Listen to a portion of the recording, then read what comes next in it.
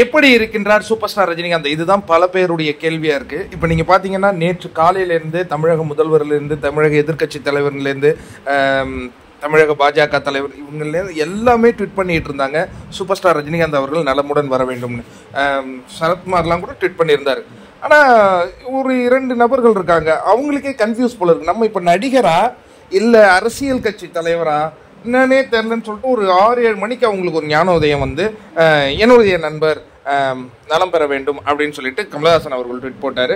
அதுக்கப்புறம் விஜய் அவர்கள் தமிழக வெற்றி கழகத்தின் தலைவர்னா இப்போ அவங்கெல்லாம் அரசியல் கட்சி தானே?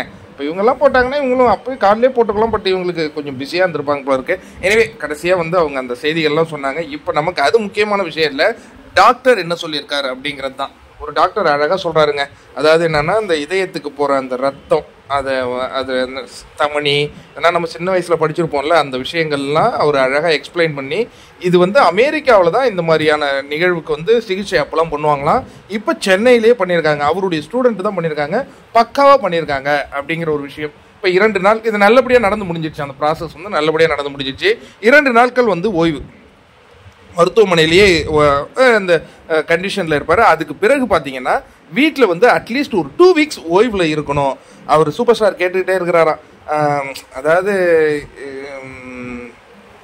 அடுத்து எப்போ ஷூட்டிங் போகலாம் அப்படின்னு கேட்டாராம். என்னங்க நீங்கள் இப்படியே சொல்லிட்டு இருக்கீங்க? ஏன்னா எனக்கு வந்து அதுதான் அதான் டானிக்கு நான் நடித்தேன்னா எங்கள் ரசிகர்களுக்கு சந்தோஷம்.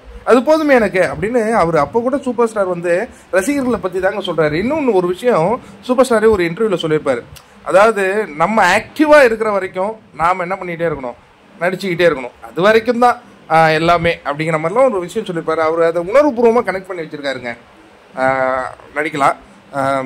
டூ வீக்ஸ்க்கு பிறகு போய் இந்த படப்பிடிப்பில் கலந்துக்கலாம் அப்படிங்கிற மாதிரி சொல்கிறாங்க அதாவது கூலிப்படத்தினுடைய படப்பிடிப்பு எனக்கு தெரிஞ்சு நிறைய பகுதிகள் வந்து சூப்பர் ஸ்டார் பகுதிகள்லாம் எடுத்துட்டாங்க அப்படிங்கிற தகவல் தான் வருது. நல்ல விஷயம்தான். அதற்கு அடுத்த இன்னொரு படம் தான் சொன்னார் இல்லையா? அது வந்து ரொம்ப ஓவர் ஆக்ஷனாக இல்லாமல் பொயட்டிக்காக போகிற மாதிரி ஏதாவது படங்கள் சூஸ் பண்ணாமல் போதும். ஏன்னா கூலி வந்து நல்ல ஆக்ஷன் திரைப்படம்.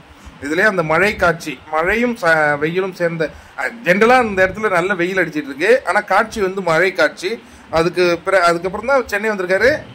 ஏங்க நேத்தி கூட முந்தா அவர் ஏவிஎம் சரவணன் அந்த இல்லத்துக்கெல்லாம் போய் அவர் ஆக்டிவாக தான் இருந்தார். பட் இது வந்து ஒரு பிளான்டு தானா? இந்த இடத்துல வந்து அந்த ப்ராப்ளத்தை வந்து செக் பண்ணுங்கிறது பிளான் தான். ஆனால் டக்குன்னு பண்ணியிருக்காங்க. நல்லபடியாக முடிஞ்சிருக்கு. இரண்டு வாரத்துக்கு பிறகு அவர் மீண்டும் படப்பிடிப்பில் கலந்துப்பார். இன்னொரு விஷயம் சொல்கிறார் இப்போ இருந்த உற்சாகத்தை விட இன்னும் ஆக்டிவாக இருப்பார். கவலையப்படாதீங்க அப்படிங்கிற ஒரு விஷயத்தையும் அந்த டாக்டர் சொல்லியிருக்காரு. அது உங்களுக்கு எவ்வளோ மகிழ்ச்சியை கொடுக்குது அப்படிங்கிறத கமெண்ட்டில் சொல்லுங்கள் இன்னைக்கு என்ன நாள்? வேட்டையன் படத்தினுடைய ட்ரெய்லர் வர நாள். அதை இன்னைக்கு நம்ம கொண்டாடுவோம். தலைவர் நல்லா ஆயிட்டாரு முன்ன விட ஆக்டிவாக இருக்க போகிறார்